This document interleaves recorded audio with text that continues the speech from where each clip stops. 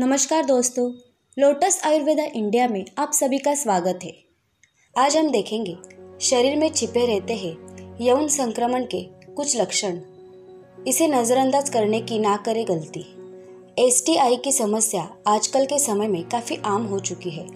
STI होने पर कई तरह के लक्षण दिखाई देते हैं, लेकिन कुछ लक्षण ऐसे भी है जो ना तो दिखते हैं और ना ही लोगों को उनके बारे में पता होता है। तो आज हम आपको एस के उन्हीं लक्षणों के बारे में बताने जा रहे हैं, जिनका पता लगते ही आपको तुरंत डॉक्टर से संपर्क करना चाहिए। यौन संचारित संक्रमण एक ऐसी समस्या है, जो यौन संपर्क के माध्यम से एक व्यक्ति से दूसरे व्यक्ति में आसानी से फैलती है।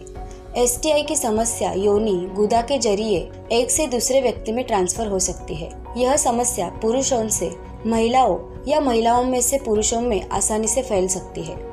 अधिकतर लोगों को एसटीआई की समस्या होने पर तेज जलन प्राइवेट पार्ट में खुजली और यूरिन पास करते समय दर्द का एहसास होता है। लेकिन इसके और भी लक्षण होते हैं जो दिखाई नहीं देते हैं। ऐसे में ज़रूरी है समय समय पर इसकी जाँच कराएँ। कई लोगों में एसटीआई के कोई भी लक्षण नज़र नहीं आते। एसटीआई की समस्या का समय पर पता ना लगने के कारण कई तरह की समस्याएँ हो सकती है, जैसे बांझपन, कैंसर आदि। आज हम आपको एसटीआई के कुछ ऐसे लक्षणों के बारे में बताने जा रहे हैं, जिनका पता नहीं लगने पर आपको तुरंत डॉक्टर से संपर्क करना चाहिए। एनल के आसपास गार्ड बनना। बहुत से लोग ऐसे हैं जो एनल के आसपास गार्ड बनने को पाइल्स की समस्या समझ बैठते हैं। लेकिन आपको बता दें कि एनल के आसपास गांठें एसटीआई की समस्या होने पर भी बन सकती है। ऐसे में ज़रूरी है कि आप इसकी पहले जाँच कराएँ, ताकि इसका इलाज अच्छे से किया जा सके।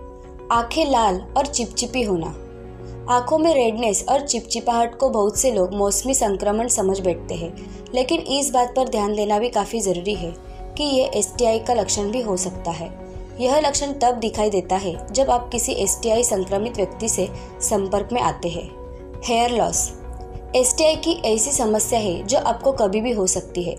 यह महीने में एक बार भी हो सकती है और कभी कभी साल में एक बार भी। एसटीआई का लक्षण हेयर लॉस भी है।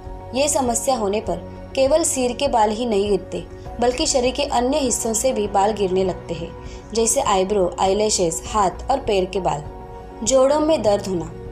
एसटीआई की समस्या से पीड़ित कुछ लोगों में जोड़ों का दर्द भी देखने को मिलता है।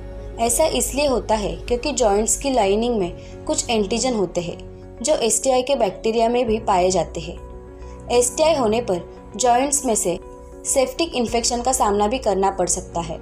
इससे जॉइंट्स में सूजन भी आ सकती है। दोस्तों, अगर हमारी वीडियो अच्छी लगी हो तो हमारी वीडियो को लाइक, शेयर और सब्सक्राइब करना। और देखते रहिए लोटस आयुर्वेदा इंडिया।